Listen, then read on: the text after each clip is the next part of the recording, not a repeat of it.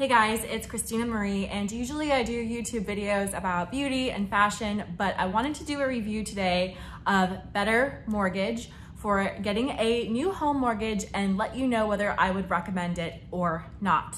Um, big picture takeaway is I am closing with a new condo on Monday with Better Mortgage.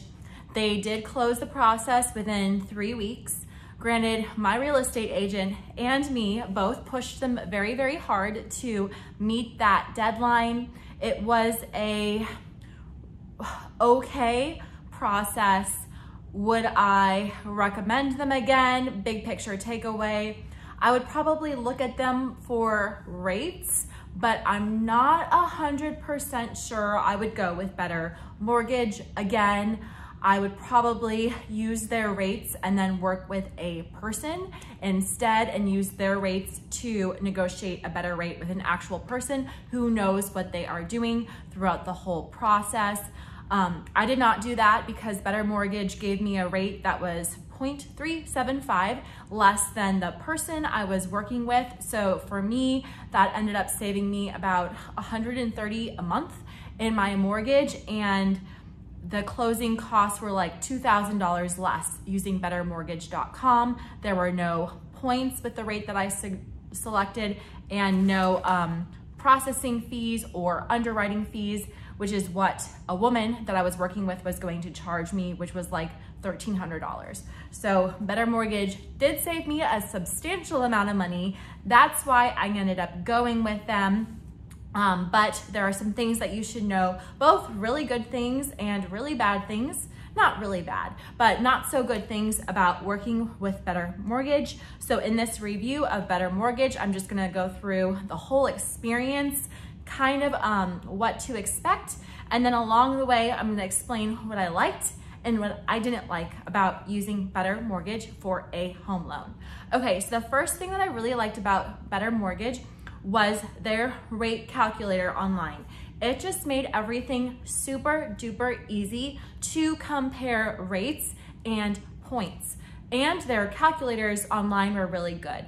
But I could go online and be like, okay, if I'm going to put $500,000 down or like 15, it was just easy to play with the numbers. So I could be like, okay, if I put down less, how much extra do I have to pay? Oh, that's not that much. It's really easy to compare rates. It's just, you see a whole like neat table of all of the different rates, um, points or credits, and the percentage. So I actually ended up paying a slightly higher interest rate to get a credit of about I think it was, I have to check, like $2,000 at closing because right now when I am filming this video, I expect to refinance in two years anyway. So I'd rather get the credit now. But big picture, Better Mortgages Rate Calculator online was super duper clear and easy to understand. I could see how much I was putting down, the percentage, and then whether I was paying points or getting a credit. It was just super easy. Um, second thing that I liked about Better Mortgage was the salesperson. He was actually really, really responsive, not pushy at all, would just follow up with me via text actually. Um, in the beginning, whenever I called him or texted him, he would pick up right away and get back to me. And he explained things really, really clearly, better than the mortgage person I was working with. He would send me um, the loan estimate right from the start. It was just really easy to understand. It showed the loan costs. Um, tip, I did negotiate it down from like $360 to zero. It shows all of the fees really clearly. And he explained to me like, okay, the other costs like your taxes, prepaids, your home insurance, um, all those things are like independent of the loan cost. Like they're independent of the rate we're offering you. So he was just like super duper clear. He was easy to understand and he was very responsive. So I read online the reviews that some people said better mortgage, like they don't pick up the phone, they ignore you, they're not responsive. My experience was the opposite. My salesperson was like super helpful. Of course he'd be helpful, he's the salesperson. But um, even after he had probably like closed the deal on his part, he continued to kind of be responsive throughout the process. So that was helpful.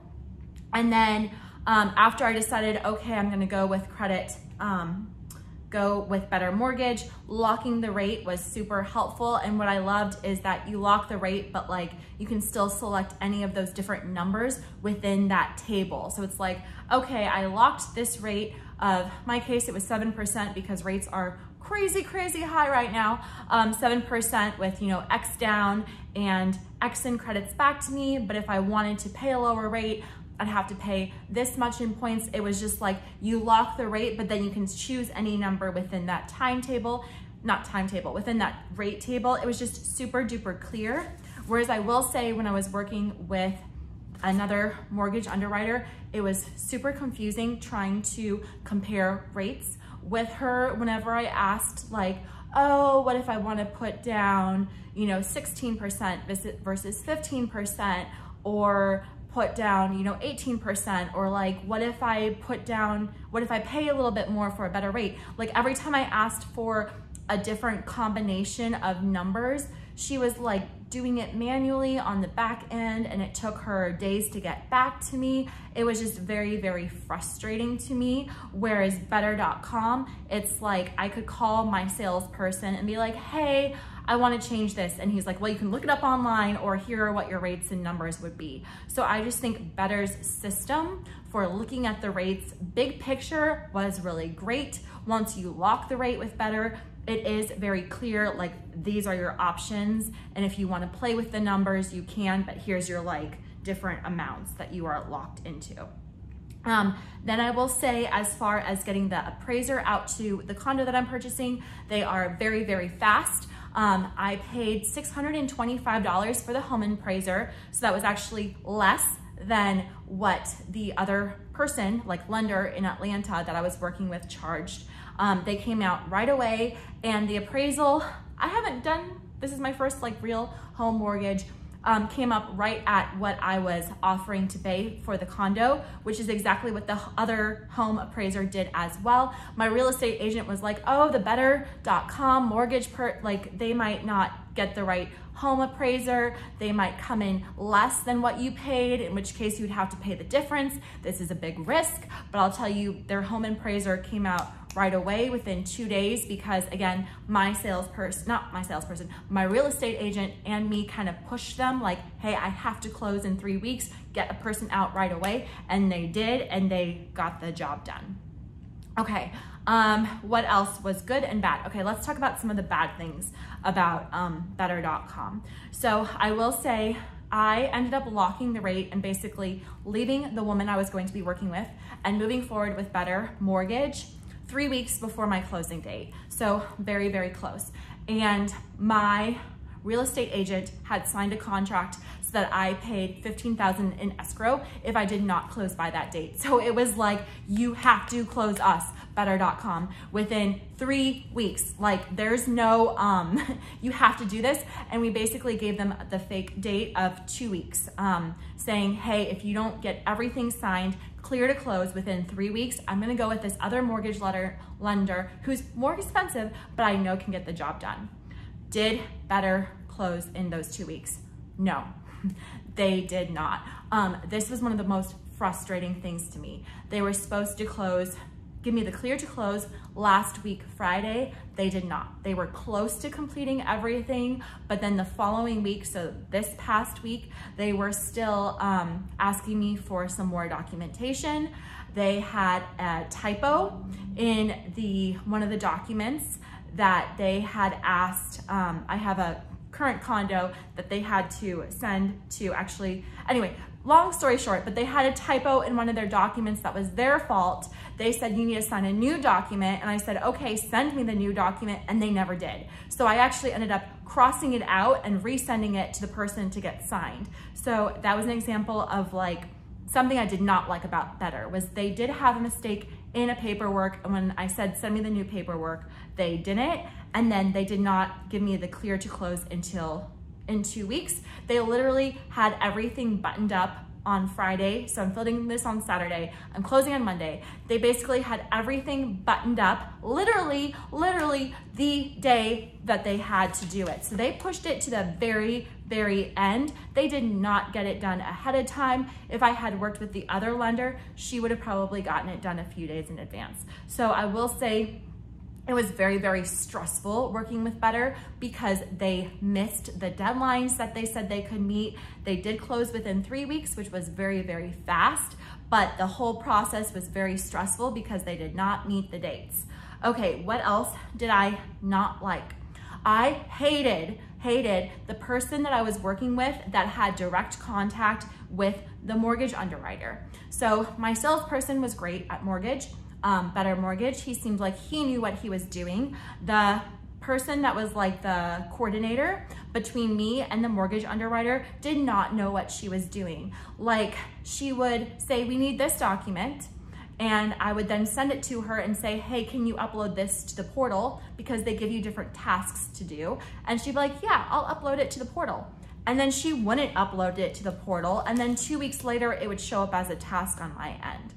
Or um, she was also very unresponsive to emails. It took a couple of times to email her to get a response. I had to copy the salesperson. When I called her, she would sometimes pick up. Um, I would often get like an out of office message from her and then she would say that she was in the office and working or she would do things like say, hey, I need your, your July statements but she would fail to mention, oh no, I actually need your July and your June statements for this account. So she just didn't know what she was doing. I don't think she knew anything about the underwriting process because it seemed like she was taking what the underwriter told her and kind of like spinning it to me and it wasn't quite accurate as far as what she would need it need. So there was a lot of back and forth.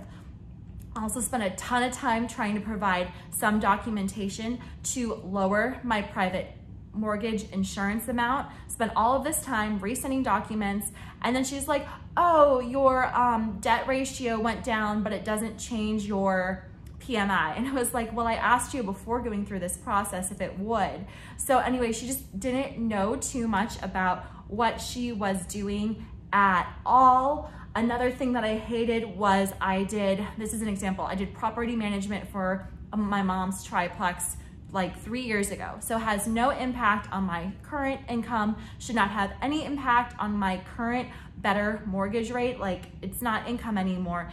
And I would tell them like, hey, you're asking for documentation that I don't have. I don't know where I would get it.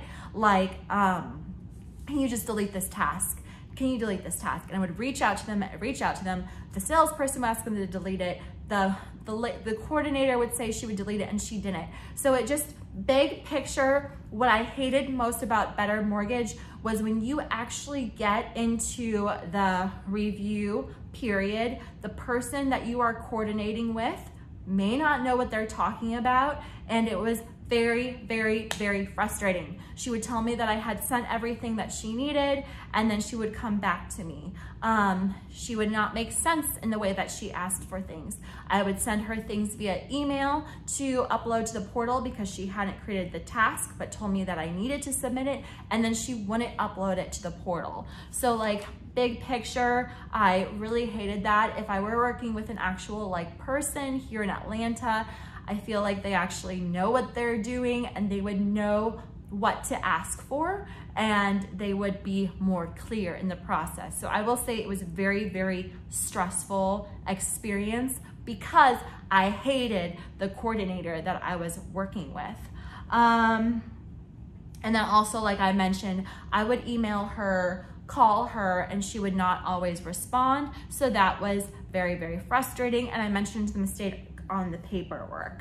Um, so that's it. Big picture, I will say better.com mortgage, like I really loved their paperwork. Like when I was looking at their loan estimate, which I got right from the get-go, um, it did not change from the like the the cost that they were charging me did not change from the day that I locked the rate to the day that I got the all clear and the final paperwork, I was worried that they would like have some hidden fees or something like that and try to rip me off at the end. Better Mortgage did not do that. The pricing was very transparent. I did love their rate tables and even just looking at like the final paperwork, the way they break all of the cost downs was way more clear, easier to follow than like the tables I got from the other mortgage lender in Atlanta and the math was just, it was perfect because I feel like their system has everything spat out automatically. Whereas when I looked at the information that the mortgage lender had provided me. Um, there was some things kind of missing or I felt like they maybe where they put the numbers were in buckets to make it look like I was paying less, which I didn't like. Um, their date ranges on things were just put in a little bit of a way to make it look like I was paying less at closing and paying less per month, whereas Better Mortgage, their paperwork was very clear and easy to follow. So um, in summary, would I use Better Mortgage again? What's my review of Better Mortgage? Um, they did get the job done. They did close me in three weeks. I will say though, like I said, um, my real estate agent was on them. I was on them. And every time they submitted me paperwork, I send it back to them within like two hours. I also hated that it would be like a full day um, and then I would get a task assigned to me at like 7 p.m. So they, I felt like they kind of sat on things a lot and I'm not sure if they would be able to close in like three weeks for most people. I think it was because I was really, really fast and me and my real estate agent really pushed them. So I will say if you have a hard date like me where you have to close in three weeks, I would not go with better. And I would say if you found somebody else who maybe you might pay like an extra $500 more to close, but it's with like a person that you know, I would have paid an extra $500 to not have all the stress that I had to go through with Better and the amount of time that I had to spend going through back and forth through the coordinator because she didn't quite know what she was doing. Um, time's money, time is money, and I felt like she was not the best. So that's my experience. I am going with better. They did close me in three weeks. They did give me the best rate. I am saving a lot of money. I'm not paying that $1,300 at closing. I'm actually getting a credit, which is pretty substantial of $2,700. So I am saving a lot of money with better. Um, just know that the process is the paper, the rate calculators are really, really clear, but um, when you get into the actual like paperwork part of the process, the people that are working there aren't quite the most experienced. So yeah, that's it. Um, if you used better, leave a comment below. I'd love to hear what you thought of the process. Um, I know that the reviews online, some people seem to love them, some people seem to hate them. They got the job done. I don't know whether any of the mortgage companies are great. I think it's a pretty horrible process for everybody, um, but I would have much rather worked with an actual person. So when I go to refinance my house, um, I will most likely use better to get the rates and then I'm gonna talk to like four people in Atlanta and actually work with a person. Thanks.